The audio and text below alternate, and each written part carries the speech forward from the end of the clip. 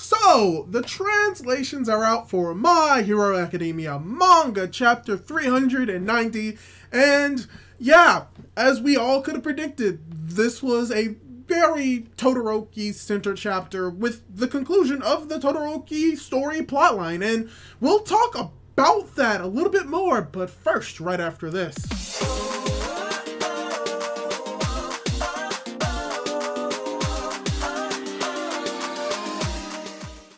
Hey guys, how's it going? It is your boy, Manga Man Drew, and I'm here to do my manga review for My Hero Academia manga chapter 390. And as I was saying earlier, this chapter primarily focuses on the Todoroki family and finally concluding this story plotline. This may be like one of the first major plot lines that have been concluded in the series so far, and based off some information that we got uh, when it comes to the most recent volume chapters, it's not going to be the only one, especially with what we're going to be focusing on next. So let's dive right into the review and talk a little bit more about this chapter. And for starters, the first half of this chapter, of this actually relatively shorter chapter, is a very strong focus on Iida as well as Shoto trying to arrive at the location of Dabi before you know he goes full nuclear explosion. And along with that explosion, we actually get to see and understand how fast these characters are moving to reach this location where Dabi and Endeavor are, because it is confirmed that they are literally breaking the sound barrier, moving faster than sound itself. Which means that the speed that they are moving at is literally comparable to what Deku was doing against Tomura Shigaraki. And we can really see how fast this is by looking at Iida in this chapter and seeing that his engines are being destroyed by the force of him running, as well as that it's so fast that it's breaking away the ice aircraft that Shoto made, and it's explained that he's making it at the same time that he's powering up his phosphorus while moving at these extensive and intensive speeds. To the point where even Tsukauchi is looking at the situation and thinking, oh my gosh, All Might is actually a good teacher. But the main reasoning why we are focusing on them in this moment is because this is at the very least the completion of one of these characters' character, and that is Iida. Because Iida's main goal is to be a hero, but specifically to be a different type of hero. Where he is a hero that could fight in combat, but what he has been doing throughout the entire series is helping out his fellow classmates to achieve their dream, or as he would say it, allowing them to reach their true self and how in this final moment he realizes that he has finally achieved what he's always wanted to be a hero that he believes that he is and if that means that he has to not fight an actual battle but be transport for someone else to do something greater that is something that Iida would do so the fact that we're getting this completion of Iida's character in this moment really just shows how we're really approaching the end and how many of these characters development and growth has been done throughout the entire story even if it hasn't been in the forefront like with Todoroki Todoroki. And speaking of Todoroki, we're getting more or less the completion of his character as well, with a slight little caveat with it. Because as we complete Iida's development, we get a little bit more about Shoto Todoroki and his development, specifically with his mother. And how we finally learn about the letter that he sent to his mother and it pretty much explains about how he's been trying to keep up and finally meet eye to eye with his fellow classmates either if it means like talking to people having better conversations or really trying to understand what it means to communicate with someone via their emotions and how to get angry sad and even upset for someone other than themselves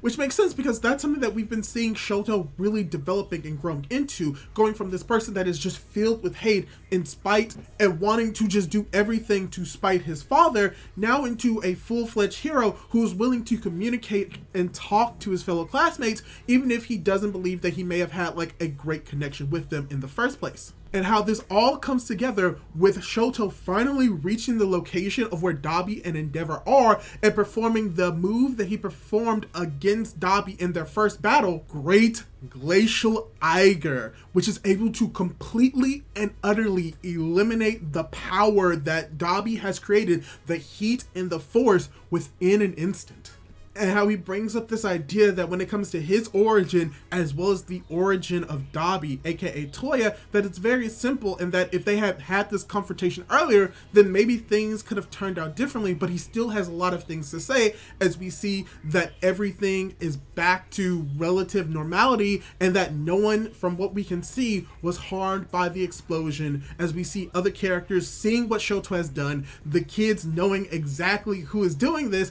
and being happy at the fact that Shoto was able to save the day. So I think that this is a very great moment for Shoto pretty much completing his character more or less, with most likely a little bit more to come towards the end of the series, but Shoto Todoroki at this moment has been completed. His character has finally come full circle, and now it's time for the Todoroki family plotline to come to its final climax, which is not with this big explosion of fire and ice, but with a simple conversation because you just have Shoto standing there saying that he actually was the person that was able to help get rid of this explosion, but he also brings up that he wasn't able to do it alone. And how he believes that when it comes to this great glacial Eiger, he doesn't believe that on his own he could have been able to defeat Dabi, and that he is not the masterpiece that Dabi thought he was which most likely ties into what we saw within the previous chapters for how the explosion was still going to go off, but that the temperature wasn't increasing, most likely due to the fact that you had three powerful ice users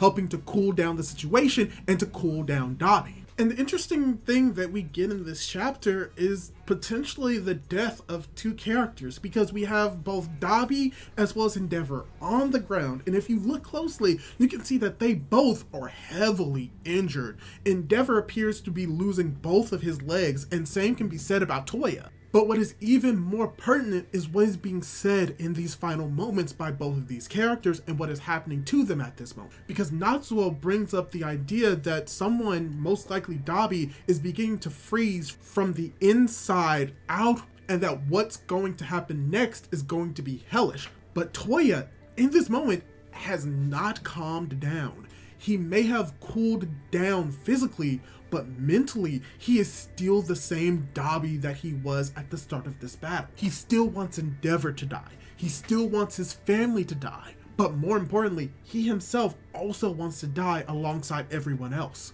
And as he is saying this, Endeavor, crawling towards Toya, is pretty much saying that he's sorry for what happened, that he's sorry he didn't go to Sekoto Peak, and that he wants for Toya to just explain and say how he feels about everything as he is also apologizing to Rei for the abuse, for Fuyumi for putting all the burden upon her, to Natsuo uh, and pretty much ignoring him, and then finally apologizing to Shoto as Shoto passes out as this is most likely the conclusion of the Todoroki family plotline.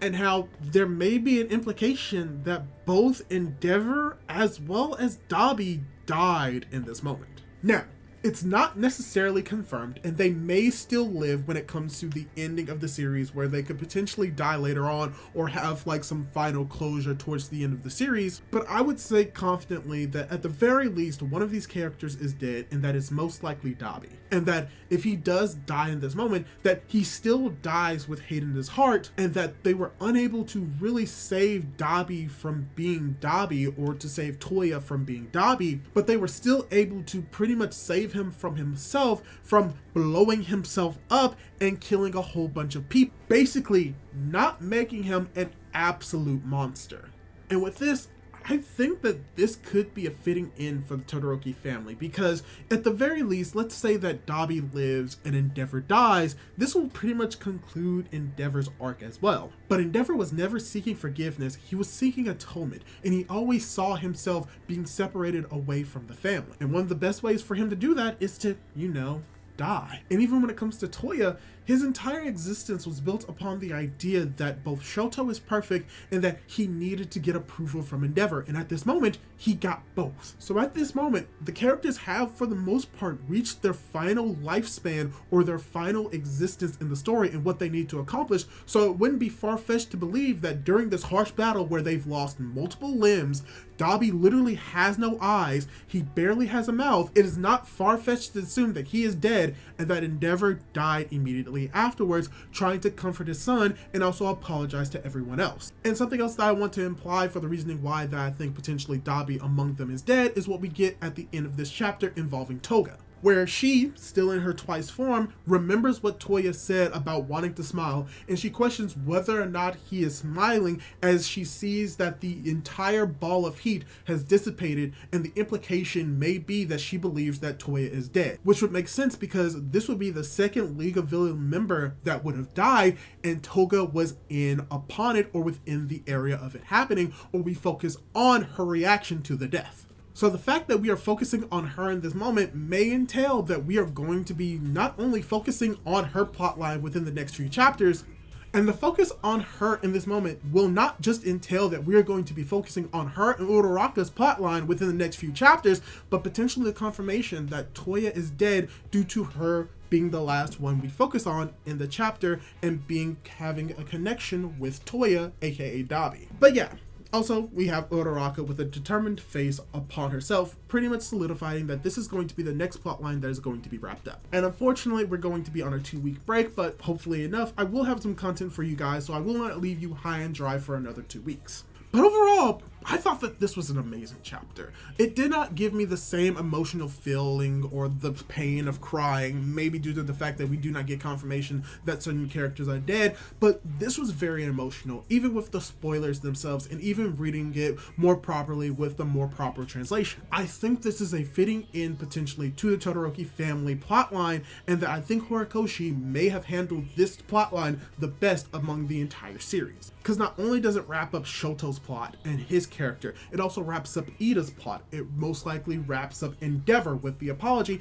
and potentially wrapping up uh, Toya's plotline, showing that even though he has been saved, he has not necessarily been redeemed. He does not go back on his negative actions upon his past and may have died still very much a villain, but a villain that they tried and attempted to save and potentially did. And I just really just enjoyed this chapter. And once again, this was a chapter that we knew for a fact was going to be Todoroki centered. And just in case I forgot to bring this up, that is mainly because the title of this chapter was Shoto Todoroki Rising, which is a telltale sign that this was going to be not only an amazing chapter, but a chapter focused on the Todoroki family. But yeah, that's all I really have to say on this topic for now. I may dive into a little bit more of it later on in the future, but this is primarily my review. I enjoyed the chapter, the art was great, the character development and characterization of the characters in the chapter were also great, and this was a fitting conclusion to the end of the Todoroki family plotline. So let me ask you this, what did you think of the chapter? Did you like it? Did you dislike it? And do you think that we're getting more of the Todoroki family plotline towards the end of the series?